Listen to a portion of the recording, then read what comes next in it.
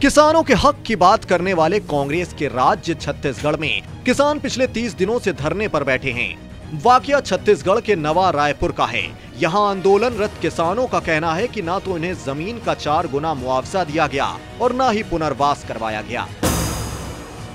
इसी को लेकर आंदोलन कर रहे किसान 3 फरवरी को कांग्रेस के पूर्व राष्ट्रीय अध्यक्ष और सांसद राहुल गांधी से मिलना चाहते हैं और उन्हें अपनी व्यथा बताना चाहते हैं। लिहाजा इसके लिए, किसान संघ ने सरकार के मंत्रियों और वरिष्ठ अफसरों को पत्र लिखकर मुलाकात करवाने का आग्रह भी किया है। और साथ ही कहा कि अगर मुलाकात नहीं करवाई गई तो नवा रायपुर क्षेत्र के ग्रामीण सड़क पर बैठ जाएँगे।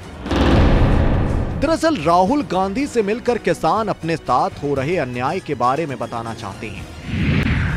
राहुल के साथ वार्ता कर रहे किसानों का कहना है कि हमारा 10 सदस्यीय प्रतिनिधि मंडल 3 फरवरी को राहुल गांधी से चर्चा करना चाहता है।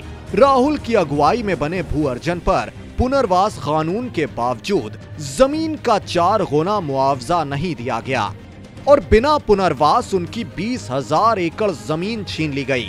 हमसे 11-12 रुपए प्रति वर्ग फीट की दर से ज़मीन खरीद कर एनआरडीए 1700 रुपए प्रति वर्ग फीट की दर पर बेचकर कारोबार कर रहा है। इसके अलावा किसान नेताओं का कहना है कि वो सरकार के जवाब के इंतज़ार में हैं। अगर सरकार जवाब नहीं देती है और उनकी मुलाकात राहुल गांधी से नहीं करवाई जाती है तो वो लोग अपने घरों से निकलकर सड़कों पर बैठ जाएँगे। इसके बाद की स्थिति के लिए प्रशासन व सरकार की ज़िम्मेदारी होगी। दरअसल किसान कई सालों से लंबित अपनी नौ मांगों को लेकर लगातार आंदोलन में जुटे हैं।